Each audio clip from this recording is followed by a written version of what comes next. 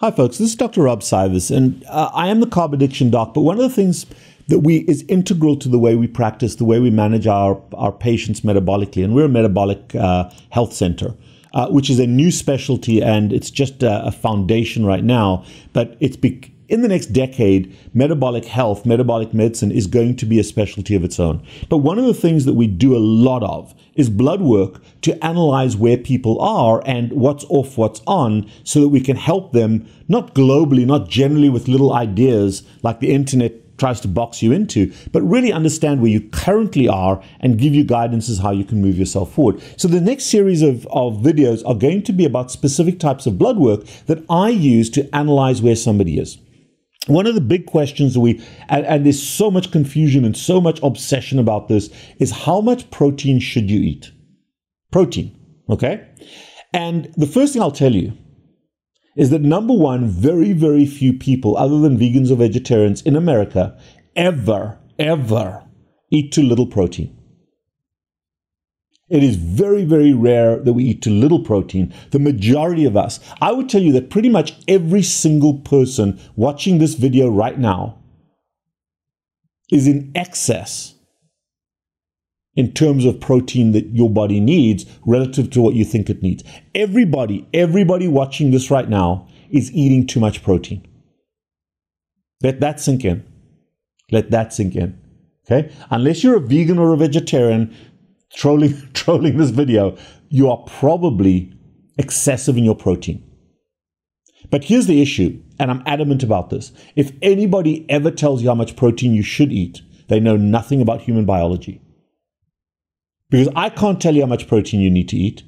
I cannot. Nobody. Sheryl, my brilliant dietitian, did a video on, or is going to do a video on this, but even she, in all her brilliance, in all her experience, cannot tell people how much, or she can tell them, but it's irrelevant. She does not tell people how much protein they need to eat because we don't know.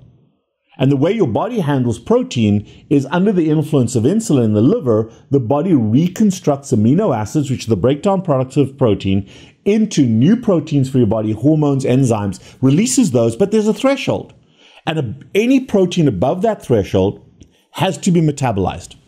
And it gets metabolized into sugar, or into ketones. You've got some ketogenic amino acids and some glucogenic amino acids. So the liver breaks them down into either ketones or sugar and releases them into the bloodstream. And then if you, those that you don't use comes back to the liver and gets turned into fat. That's the way the liver metabolizes that, and that is done under the in- protein synthesis, done under the influence of insulin, human growth hormone T3, uh, protein breakdown from your own body. So your body's con- see this is the variable. Your body is continuously autophagy breaking down and returning protein to the liver that has to be broken down. So all of those metrics are happening. You got the protein you're eating, you got the protein you're breaking down. All of that is your protein pool. Nobody can tell you what that is because nobody knows, but your body knows. And also your hormonal flux, glucagon, testosterone, uh, progesterone, estrogen, uh, human growth hormone, T3, uh, thyroid hormone, all of those things factor into how we use protein. And then there's the demand. Are you exercising? Are you sick? So all of these things factor in. Okay. But here's the way I can tell whether, I don't have a number, but whether you need to eat more protein, you're eating too little, and whether or not you need to modify your fat consumption on a ketogenic diet. And this is where the blood work comes in. I do not know what the number is. I do not know how much protein you should eat, but I can give you guidance to change percentages. And that can be pretty accurate. How do I know? Well, if you look, so if you understand this, the body will synthesize protein if you give it all the amino acids. So, just one other little caveat here anybody drinking a human manufactured protein bar or protein shake or whey protein, you, that becomes sugar. Automatically, that becomes is used for caloric value, for sugar and for amino acids, because in order to synthesize protein, you need all 21 proteins in the right ratio. And the only place you can get that is from animals and a little bit from plants. Mostly from animal protein, because it's got everything in it. Anything manufactured, it's not what's in there.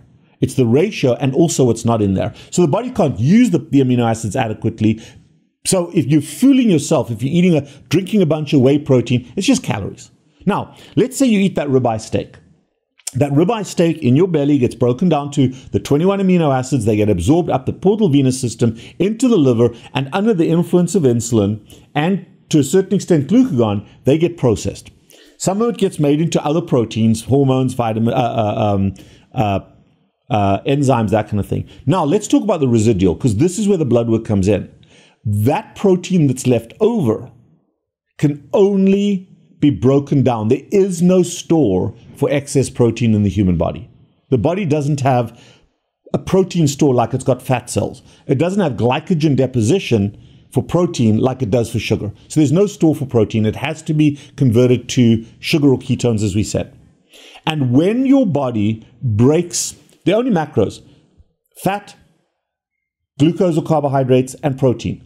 So if you look at those three elements, the core of those three elements is three molecules. All fat and all sugar is pure carbon, hydrogen, and oxygen. Those are the three molecules. So when you metabolize fat, when you metabolize protein, it, is metabolized to water and carbon. Okay? H2O, hydrogen, oxygen, water. Okay? CHO. However, protein has an element in addition. All amino acids have something called nitrogen. And nitrogen, it's in the air, it's the, the, the largest uh, uh, um, molecule in the air, it's the largest atom in the air, nitrogen, 70% of the air. However, nitrogen is an obligatory waste product of the human body. And the human body has two main ways in which it eliminates nitrogen. Okay, so when you convert protein, your own protein or protein you've eaten, into energy, you break that, uh, uh, uh, you can modify the proteins into different types, the amino acids, different types of amino acids, but ultimately in the liver primarily, that protein is broken down. And the carbon, hydrogen, and oxygen go toward down the energy pathway. They get used. Think about this CHO becomes sugar or ketones, but the N has to be dealt with. And in humans, as opposed to reptiles and birds, the N primarily becomes ammonia NH3 NH4 ammonia and ammonium. And that then converts into something called urea. And we can measure in the bloodstream called blood urea nitrogen. You'll see it on the blood work, BUN. But it's really urea that is the soluble waste product of proteins, gets peed out as nitrogen. And if we can calculate the amount of BUN and we have a range for BUN, we can tell you if you're breaking too much protein up down a sugar towards sugar pathway, if you're eating too much and having forcing your body to metabolize it, or you're getting too little protein in. I'm going to go through that in a second. The other two forms of nitrogen waste the other big form of nitrogen waste, which birds and reptiles use as their dominant thing. You smell guano, it's got a particular smell to it, bird poop. And that is because they produce primarily uric acid, urate.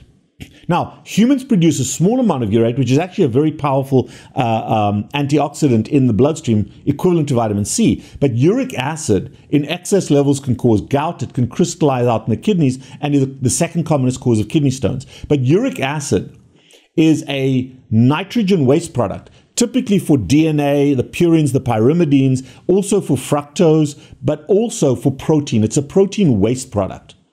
Okay, so we've got uric acid, which is a nitrogen waste product. We've got uh, um, uh, BUN, and then the third one is creatine. Uh, creatine that gets released from the muscle cells, and we form creatinine. Creatinine is the waste product. So those three elements I look at in the blood work and I can look at the BUN, the creatinine, and the uric acid to determine the uh, health or illness of your protein metabolic system. Now, a normal BUN for me is around 18 to 22 in most adults. Kids can sometimes have a higher one because they're growing continuously. Okay? So that BUN of 18 to 22 is important. If your BUN is significantly lower than that, one of two things may be happening. Either um, you're eating too little protein. You're eating too little protein. And the concern then is if you're under that number, if you are eating too little protein, let's say you're a vegan or a vegetarian, well, your body still requires that degree of sugar from time to time. So it's mobilizing in excess your own protein, your own muscles to supplement that.